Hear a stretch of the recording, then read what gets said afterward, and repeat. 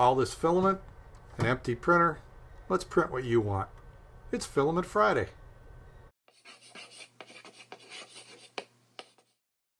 This week's print was suggested by Mark Poffenbarger. He asked me a couple weeks ago if I could try printing this on my machine. It's got outer bearings that spin, and then they pivot on the inside. There's a smaller version with only three bearings, and that's the one I chose to print. So let's see how it goes.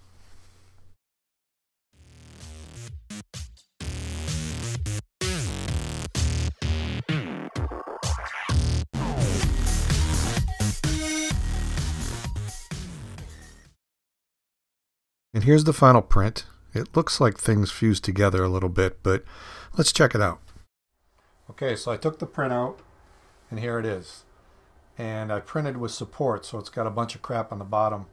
But it didn't take much to get this thing to pivot. It pivots actually quite easily. So that was kind of cool. But then I started to look at the bearings and tried to, to spin them.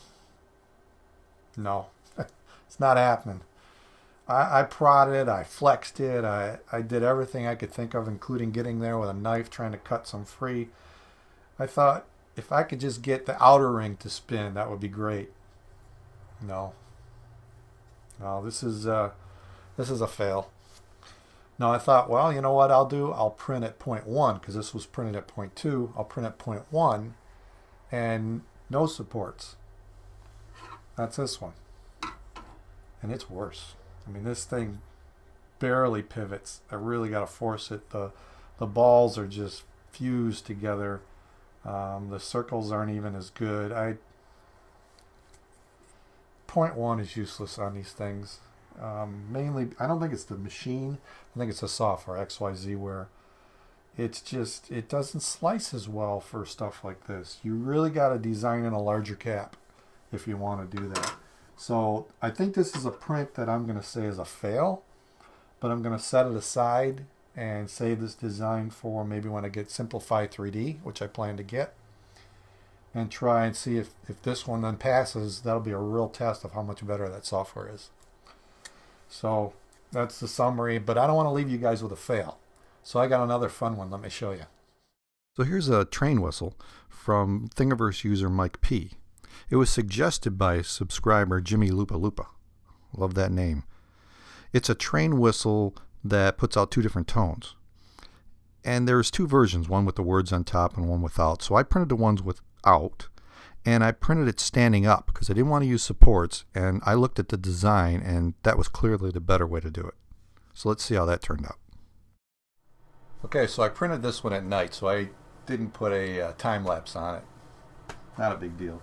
But the print is finished and it's been sitting here so it comes off real easy. And it looks like the bottom just needs a little bit of cleanup. Just these holes here because this is, you know, I got it set back to smush down so it held its place. So all I do is just take an X-Acto knife and just kind of scrape away at that first layer that got smushed down. Don't have to take much off because there's not that much there.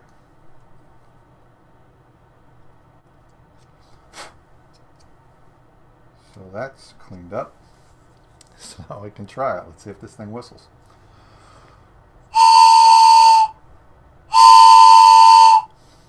Not bad. Train whistle.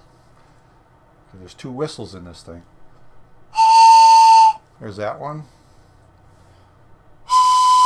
And a higher pitch. But together.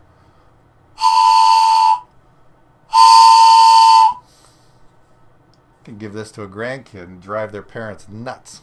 I don't have any grandkids, but it's an idea for the future. Anyway, there you have it. So if you like this video, give it a thumbs up. If you like my channel, please subscribe. That way I know you're watching. And if you have an idea for Filament Friday, put it in the comments below and I'll try to get it in a future episode. Thanks for watching.